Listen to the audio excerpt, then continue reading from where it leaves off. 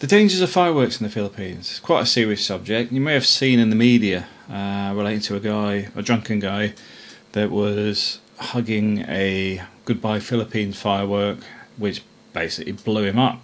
Um, quite a large firework. But another thing with fireworks, a lot of them are made in the Philippines. I mean, literally made. Made in people's houses. There's areas that have these huge fires every year. Manila's famous for and even in Cebu, we've had some fires uh, where people making fireworks. Because uh, what you find is the Christmas wrapping paper ends up being the covers for these fireworks for the uh, New Year celebrations. Now, people have also talked about the um, warding off evil spirits with their bangers and whatever. They do that, but you've also got the idiots that will throw a um, what we call a jumping jack in the UK. I'm not sure what you call it in the US. Um, into the back of a jeepney. Obviously, people go into blind panic with the fireworks going off at their bare legs because obviously the Philippines, most people are either wearing a skirt, shorts, where basically their legs are exposed, flip flops it's it's not funny. Um, and we, there's about 350 people injured. Um, they, they'll be much higher than that. Let's put it that way. That's only based on the information they have. So I would say that's only a very small minority. The next thing is guns. Uh, Philippines police have the the tops of the guns uh, taped off. Uh, this is because during these celebrations, they start shooting the guns off, and obviously bullets go up. They also do come down, um, which is where you, there's a risk of being killed. Um, I've been to a party where somebody threw a, a, box of bullets in the fire, for example.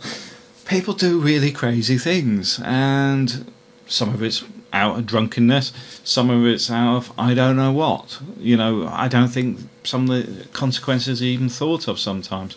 But this is why at this time of year, be careful. Um, I've never really had any issues myself, but I've known things that happen, and you'll see it on the news here in the Philippines eh, where people are being set on fire and all sorts. Entire villages burned to the ground because you've got to remember they build, you know, especially shanties. The walkways end up like this with the roofs, the metal roofs.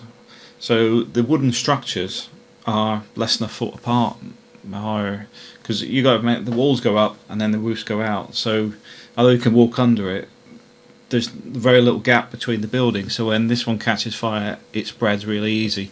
You don't have the fire breaks of a wide road, for example. That's why when they go, oh, there's a thousand houses burnt, it's because you got dry wood, you've got termite damaged wood, you've got all sorts of combustibles there, LPG gas bottles, all sorts in those areas and then you've got firework factories in the middle of it. so this is why these things happen, and they happen every single year. Um, I've never had a, year in the Philippines where there hasn't been a major catastrophe.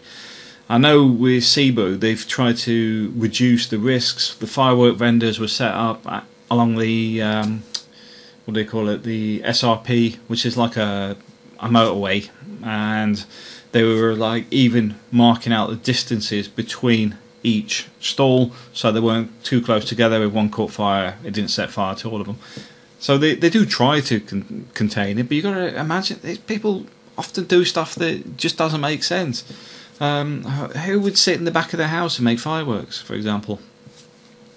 There you go. Um, but yeah, just be aware of it. it. It can be risky, but at the same time, in certain environments, you're not going to see much of it. Like I said, the the thing with the bullets that I had is we actually have some friends that are with with the the police and military, etc. And sometimes they do crazy stuff. but the um, but generally, it's not a problem as long as you're aware of it.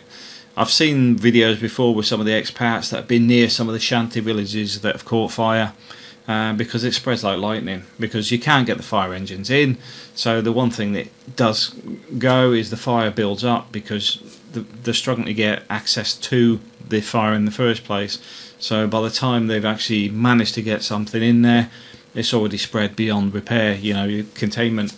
Um, it's just a just a pig. Um, but yeah, I wanted to share that because it's not something you may be used to, with people shooting guns in the air and whatever, uh, in celebration of New Year.